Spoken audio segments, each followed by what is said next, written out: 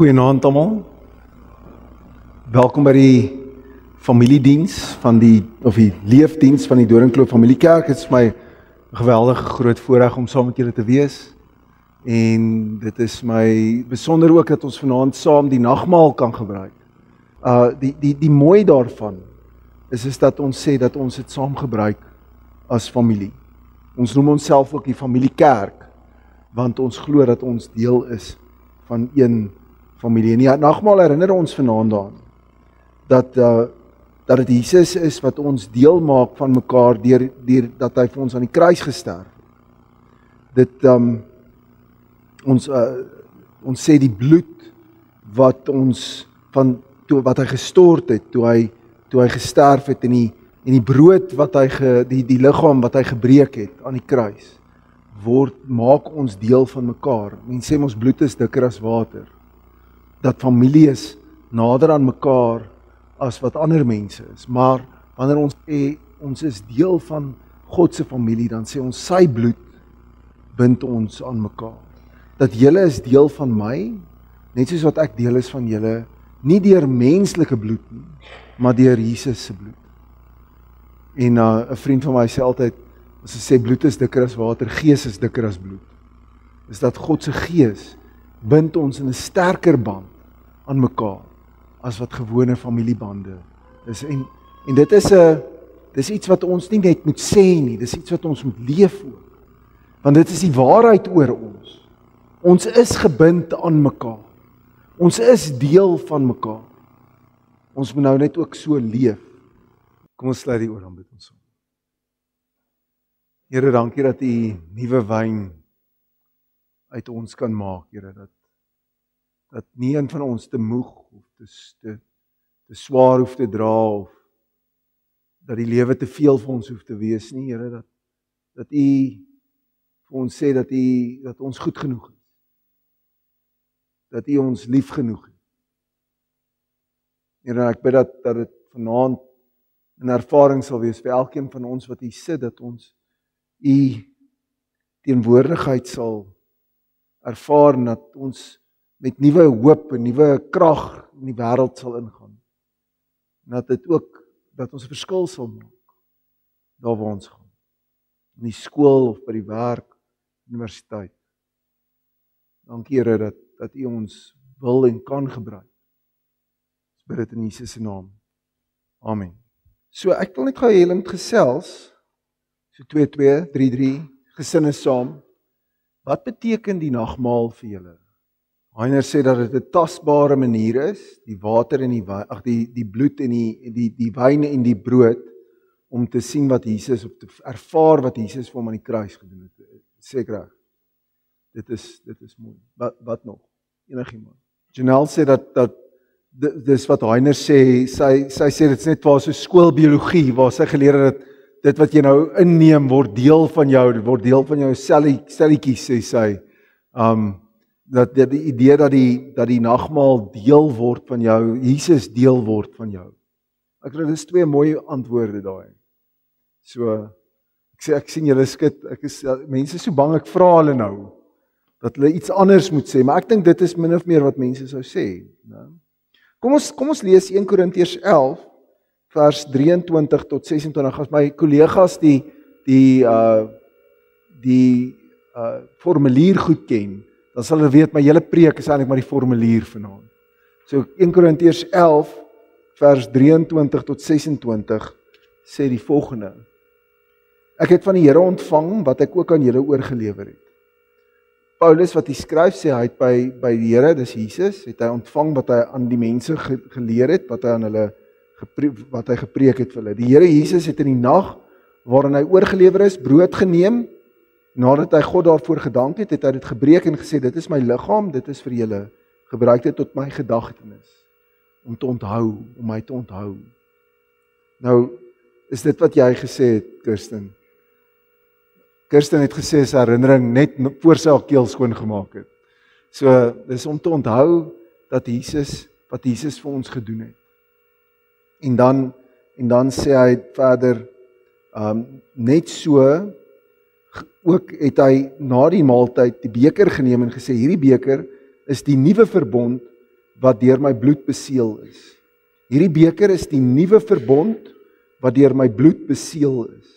Gebruik dit elke keer as jy daaruit drink tot my gedagtenis. Weer daarso, is weer herinnering. Elke keer as jy van hierdie brood eet en uit die beker drink, verkondig jy die dood van die Here totdat hy kom. Elke keer as jy die nagmaal gebruik, dan verkondig jy die dood van die Here totdat hy kom. Dit is interessant nou as jy nou daar gaan dink. Ek ek ek ek is seker van julle almal weet dat julle dit al by my ook gehoor, maar hoekom hou ons nie op Saterdag kerk nie? Hoekom hou ons op Sondag kerk? Die Jode het mos nog op Saterdag kerk gehou. Want ons verkondig die opstanding. Jesus is op die Vrydag gekruisig en hy het op die Sondag opgestaan. So as ons Sondag bymekaar kom, dan verkondig ons elke Sondag die opstanding uit die dood. Ons moet altyd daaraan dink. Maar hierso sê ons kan nie net dink aan die opstanding nie, ons moet dink aan die kruisiging ook. Want wat hier gebeur het is dat Jesus 'n nuwe verbond gesluit het. Nou wat is 'n verbond? Wie kan vir my vir vir 3 ekstra punte, wie kan vir my sê wat is 'n verbond? 'n Verbond is 'n belofte. Dis 'n belofte van God. Maar dis meer as 'n belofte, dis 'n kontrak amper wat hy sluit. Hy sê vir Abraham, ek sal jou God wees en jy sal my volk wees. Ja, uit jou sal daar 'n volk ontstaan. Dit was 'n verbond wat God met Abraham gesluit het. Hy het hom 'n teken ook gegee, die besnydenis. Ons het natuurlik ander tekens, die doop en die nagmaal, dat ons deel is van God se verbond. En en dan dan hoor jy as jy luister na die woord verbond, dit bestaan uit die woord bond. Uh uh julle julle ken dit almal wat huise besit. Dis 'n bond. Julle julle maak 'n belofte aan die bank dat julle hulle sal betaal en die bank maak 'n belofte dat hulle vir julle geld sal gee. Hoor julle is 'n kontrak, 'n bond. Dis wat die woord verbond dieselfde um herkoms het.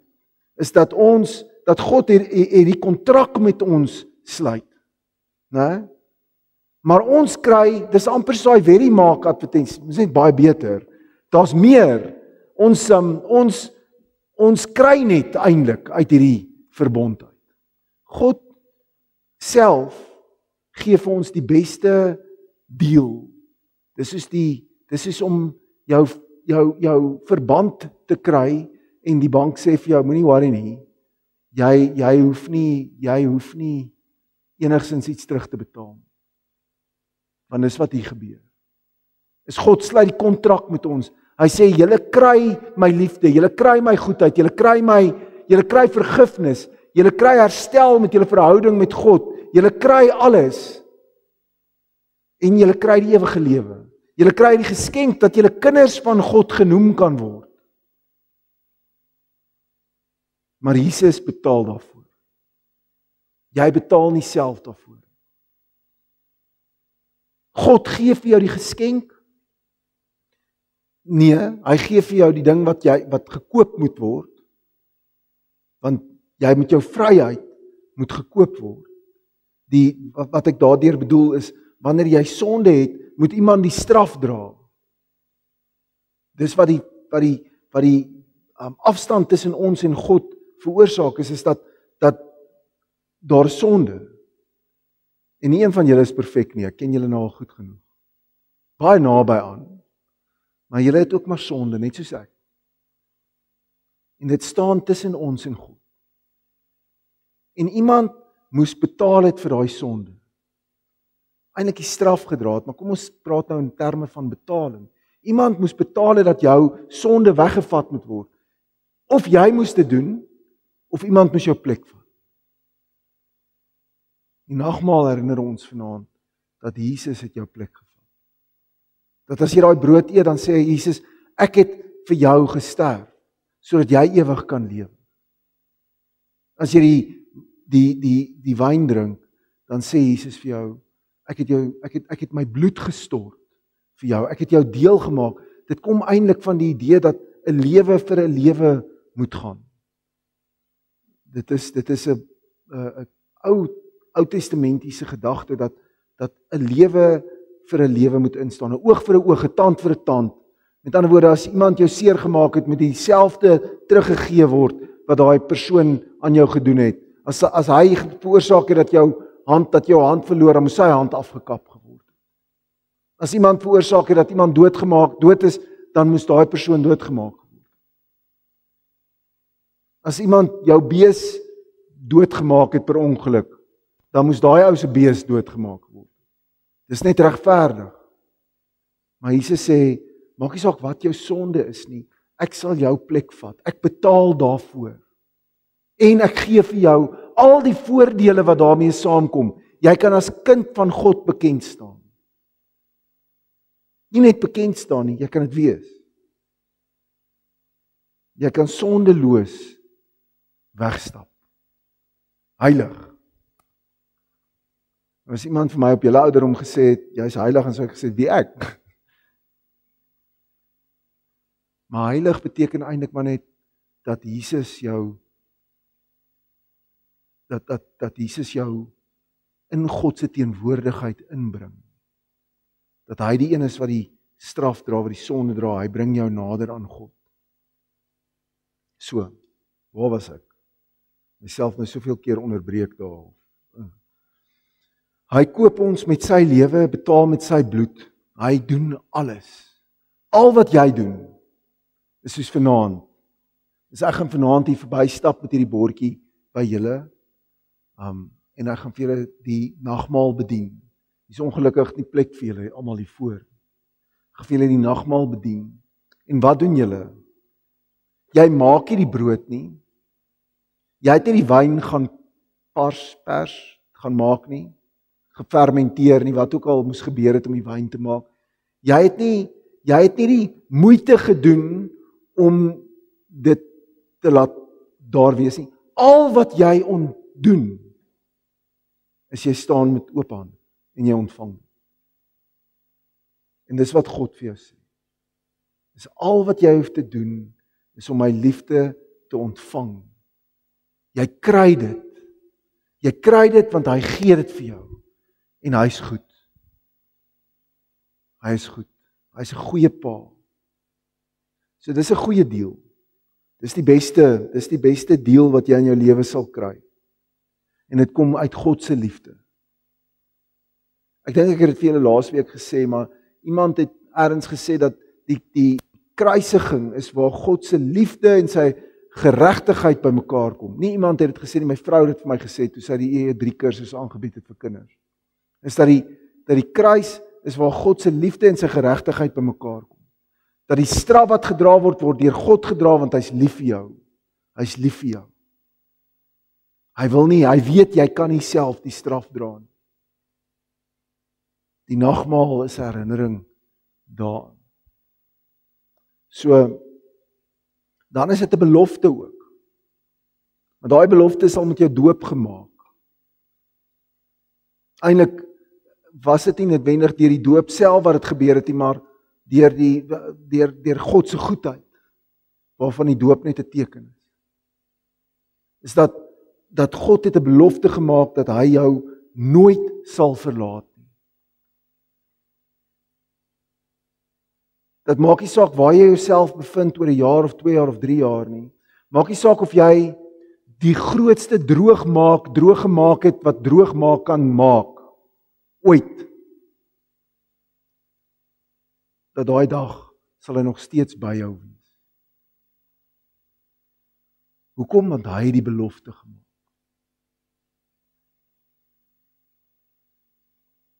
So daar's nooit 'n omstandigheid wat so is dat dat God homself van jou sal onttrek nie want hy het vir jou die straf gedra en hy's lief vir jou en ek hou daarvan om daar by te sê want dit is vir my belangrik want baie keer dan dink ons ja my ma is ook lief vir my maar sy het al vir my gesê sy hou nie van my nie as ek so stout is sy's hy's lief vir jou en hy hou van jou hy hou van jou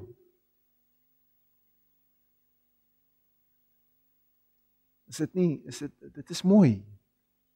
Dis dit is besonder dat God so oor jou dink.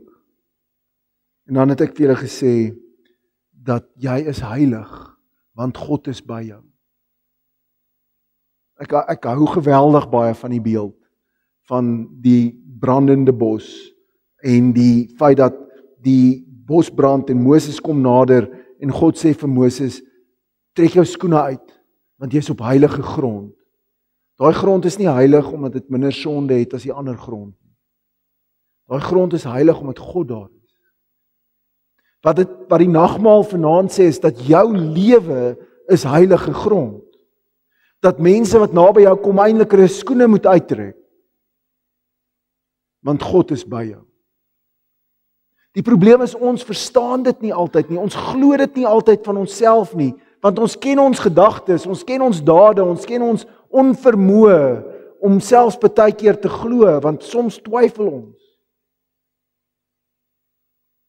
Maar die nagmaal herinner ons dat niks van daai goeders tussen jou en God kan staan. Jou lewe is heilige grond. As jy vanaand die nagmaal gebruik, dan moet jy herinner word daaraan. Dat wanneer jy hier uitgaan, dat waar jy gaan, is jy nie net 'n verteenwoordiger van God nie. Jou lewe is die teenwoordigheid van God by die skool, by die werk, by die universiteit. Dis hoekom dit eintlik so erg is as ons nie leef soos wat ons moet nie. Want wie kry die slegte naam? God. Maar weer eens, selfs daarmee is hy geduldig met jou. Hoekom? Want hy is lief vir jou en hy hou van jou. Heilige grond. Elkeen van ons. So en dan dis 'n waarborg. Die nagmaal is 'n waarborg. Emil, hoor jy ek preek uit die uit die formulier uit vanaand. Um daai punte is so in die formulier. Dis 'n waarborg. Wat beteken 'n waarborg? Ek ek het gedink ek moet nou ek het nooit kontant mee by my nie. Ek het nou gedink ek moet moet moet geld bring kan ek nou vir julle wys. Maar julle weet hoe lyk geld. So ek julle sien dit net in jou geestesoog. R200 is eintlik maar net 'n stuk papier waarop 200 geprint is op 'n spesiale manier, né? Want daai geld is 'n waarborg dat dat dit waarde het. Jy jy gaan jy kan daai geld gaan ruil vir iets anders wat jy kan vashou. So jy kan vir jou groot sak sweets koop met R200. Toe ek klein was, het ek R1 sak geld gekry.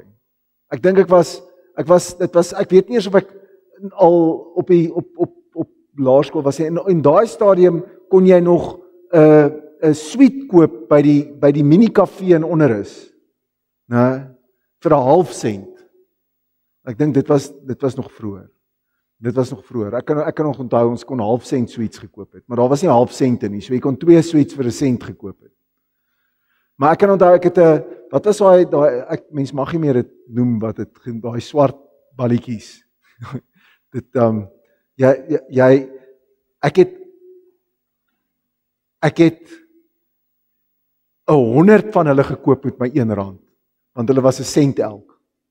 Ek het so 'n sak gehad en toe was hulle nog groter en harder en jy moes hulle het langer gehou. En laterand was ons hele kar vol van hulle en oral was dit taai en ek het uitgedeel laat dit klap want ek het my hele sak geld gebruik om 100 sweets te koop. Die waarborg, ek het die 1 rand was 'n waarborg dat ek 100 sweets met dit kon koop. Die nagmaal. As jy die nagmaal vanaand gebruik, is dit 'n waarborg. Dis die dit is die teken, soos die 100 rand, die teken is dat jy die waarde van 'n 100 rand dra.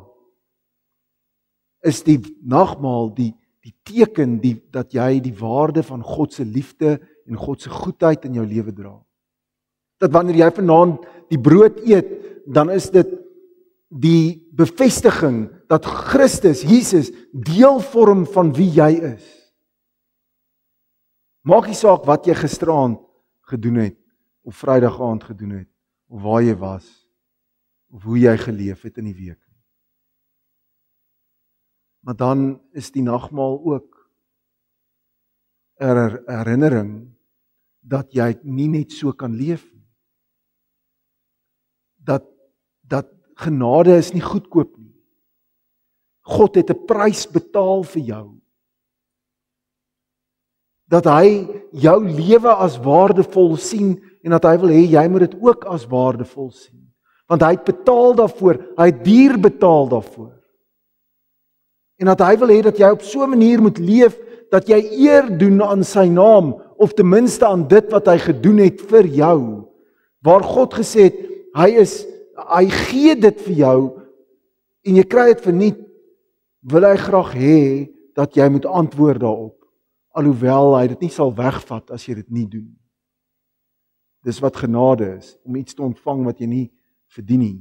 Maar dat God dan wil sê, maar leef op so 'n manier dat hy sigbaar is in jou lewe. Dat die dat dit wat hy vir jou gegee het 'n verskil maak in die wêreld. Die waarborg dat jy ook iets gaan doen ergens met dit wat hy vir jou gegee het. Andersins is dit soos om 'n 100 rand te hê dit het al met julle gebeur nadat jy daai 20 rand dan trek jy daai broek aan dan hy net uit die was uit gekom en steek jy jou hand so in jou sak en kom maar 20 rand uit. Jy het dit al met julle gebeur? Dis is om daai 20 rand in die sak te hou. Daai 100 rand wat deur die was gegaan het in die sak te hou en en dit bly daar en jy doen niks daarmee nie. Dis daar, maar dit beteken vir niemand enige iets nie. Soos die tannie vir my gesê het, sy het besef die Here wil hê sy moet soos 'n lang slap housepipe wees. Tannie, wat bedoel tannie? Sy sê nee, sy moet die soos die die, die sy sy moet soos sy al wat sy moet wees is net hierdie ding waar deur die seën vloei na die wêreld toe. Sy het dit besef toe sy die tuin nat maak eendag. Is dat dit is wie jy moet wees. Jy moet net die die roete wees waardeur die seën vloei na die wêreld toe sodat die wêreld 'n beter plek kan wees.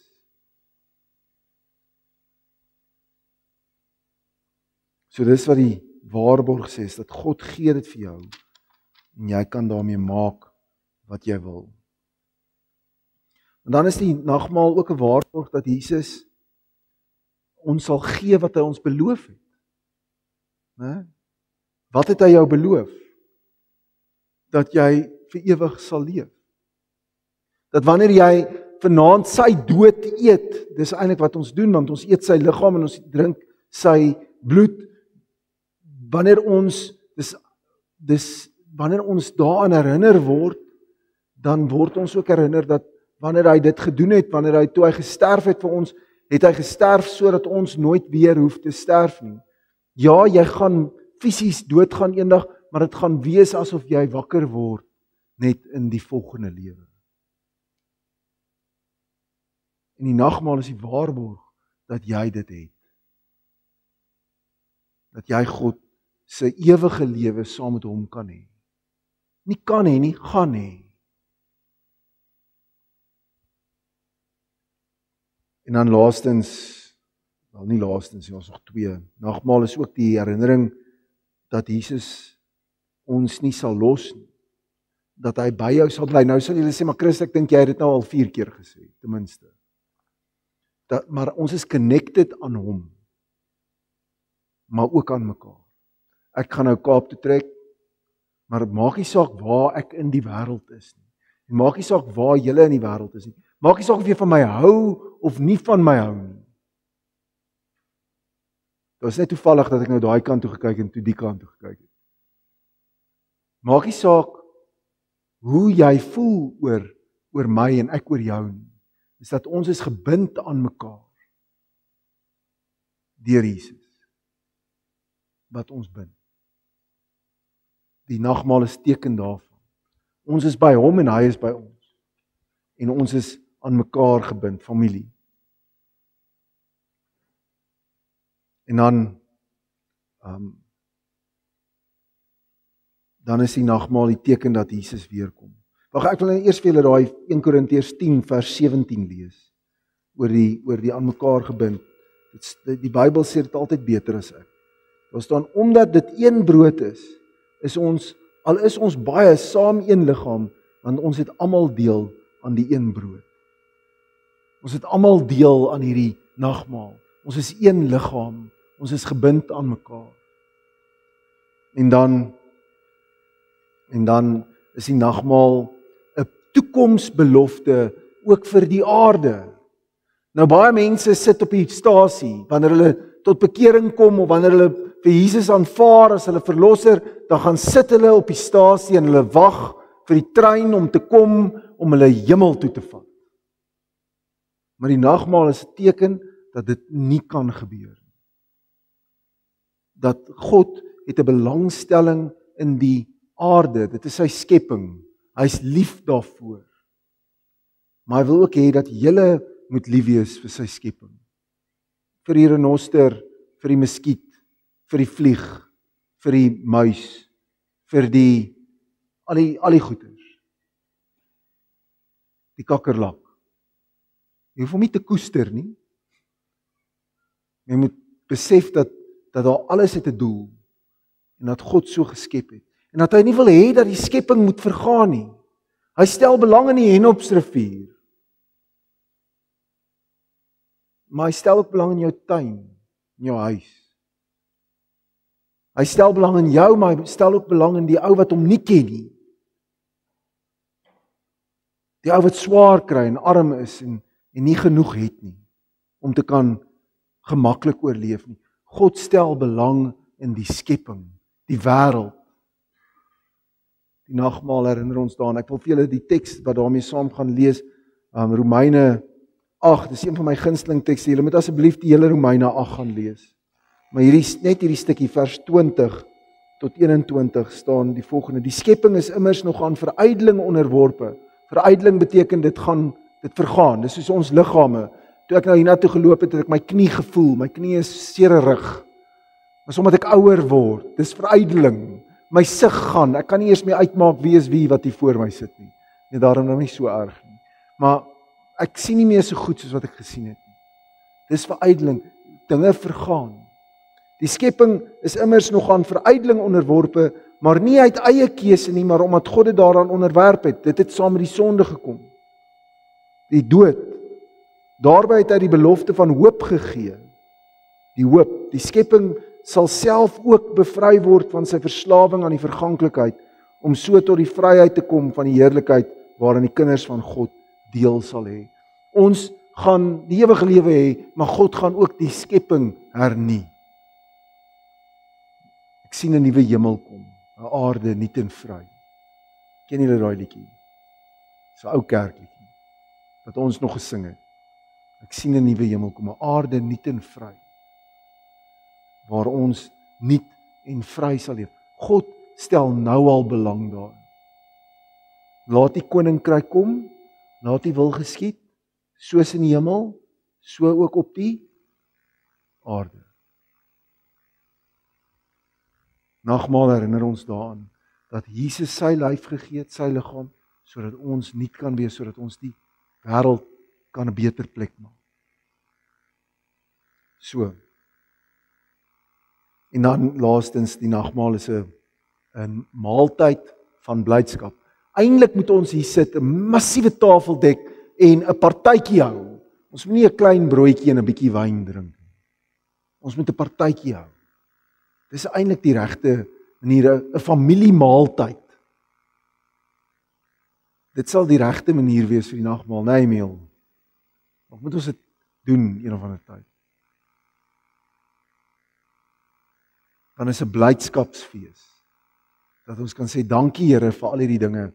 En dan Openbaring 5 vers 9 tot 10 waar die um, sê iets van dit van die engele wat bly is in die hemel oor die Here en dat ons ook so kan bly wees.